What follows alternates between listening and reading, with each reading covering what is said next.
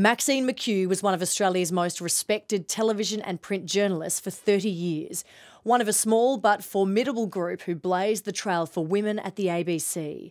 Beginning as a cadet on This Day Tonight, she was a newsreader on the Carleton Walsh Report before becoming Washington correspondent and in 1995 anchor of the ABC's Lateline.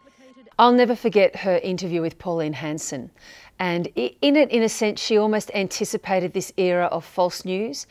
Now, the figures that I have indicate by the year 2040, 53.6% of our population would be Asian. Now, who's done those figures for now, you? Now, they, they are figures that actually have been given to also the Prime Minister's Department and the um, Immigration Minister. All right, let, let me tell you. Ruddock. Let me tell you what the figures are today, and that is that Asians make up less than 5% of our population. Now, how can that amount to us being swamped? Because I don't believe that those figures are the true figures.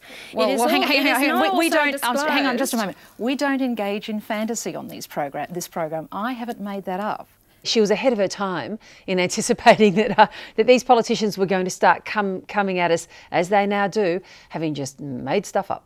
Beautifully spoken and driven by an intense intellectual curiosity, she won a Walkley Award and a Logie for interviewing. For my generation of journalists, Maxine McKew set the gold standard. She really did, of how we wanted to do our interviews, of that incisive, inquiring mind, of that absolutely television perfect presentation uh, with not a bead of sweat on her, her brow, not a moment of discomfort, not a moment where she was put off her game.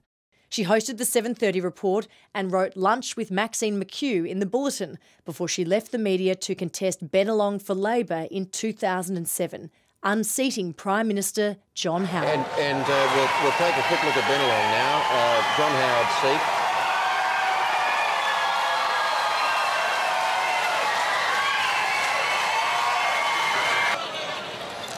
This has been an amazing night